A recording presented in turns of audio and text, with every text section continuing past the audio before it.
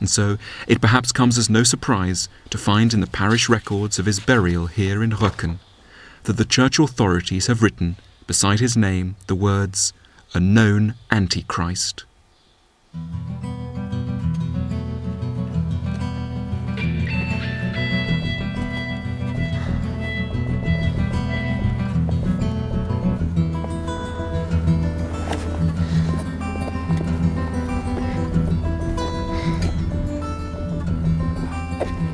Although his life was hard, we shouldn't think that Nietzsche was miserable all of the time.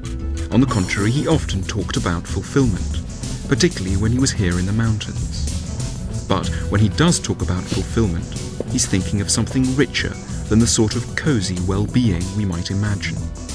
He writes sarcastically about people who are addicted to the religion of comfortableness. He calls them small, mean people, hiding in forests like shy deer.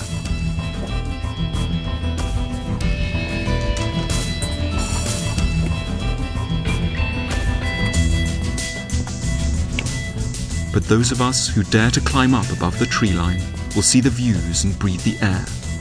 It's then that we'll understand the benefits of abandoning comfort for true fulfillment. As Nietzsche famously said, that which does not kill me makes me stronger.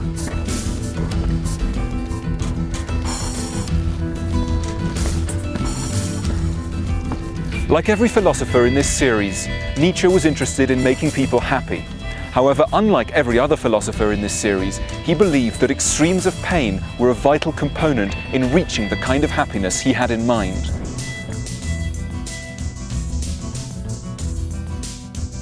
Not everything which makes us suffer is necessarily bad for us. Not everything which makes us feel good is necessarily actually good for us. To regard extremes of suffering as an evil, as something to be abolished, wrote Friedrich Nietzsche, is a supreme idiocy.